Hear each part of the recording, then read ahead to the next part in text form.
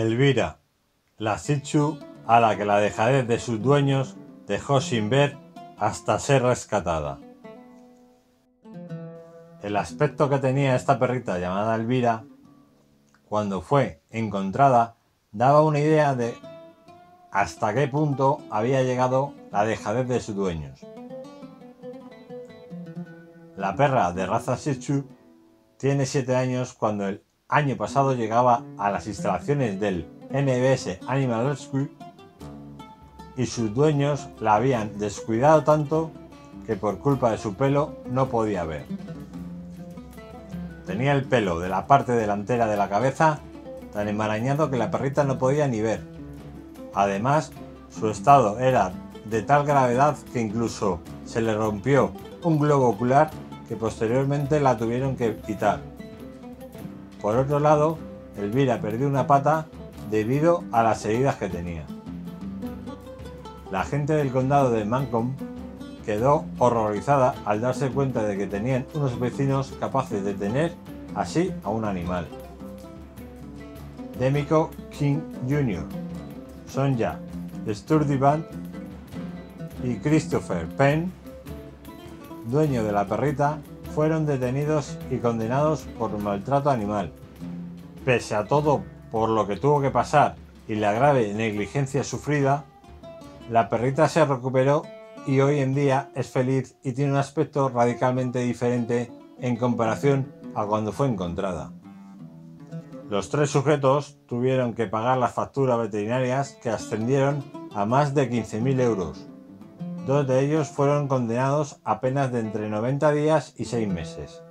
Una vez que se rehabilite del todo, Elvira estará disponible para ser adoptada y estamos seguros de que no tardará en conseguir una buena familia que la dé un buen hogar. Yo por lo menos lo haría. Ahora os enseño el vídeo, a poner el vídeo en el cual salió la tele eh, que pedían dinero para poder recaudarlo y así poder operar a perrita que que luego fue posible gracias a la colaboración ciudadana. We have a follow-up tonight to a heartbreaking case of animal cruelty. Clinton Township police say thanks to our viewers, they believe they're close to justice for a little dog nicknamed Elvira. 7 Action News reporter Kim Russell has a look at how people like you stepped in to help. She's a little dog that was neglected for years until someone brought her here to Macomb County Animal Control with mats so severe they covered her body, even her eyes, causing ulcers, leaving her blind.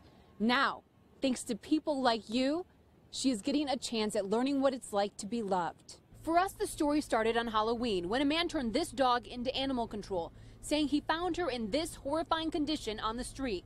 Workers at Advanced Animal Emergency in Clinton Township nicknamed her Elvira, then went to work to save her. You can see she's so sweet. The mats didn't just cover her body, they caused ulcers, leaving her blind in one eye.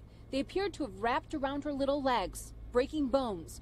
One foot was missing. I mean, that was years that that dog has sat in pain and agony like this. Viewers who saw her story responded. Donations poured in to the Macomb County Animal Control's nonprofit, giving it a chance to save this dog's life without using tax dollars. It's people who are truly moved by the story that are paying for the care right now. Plus, Clinton Township Police say tips came in thanks to our story. They say no charges are filed yet, but they expect to get justice for Elvira.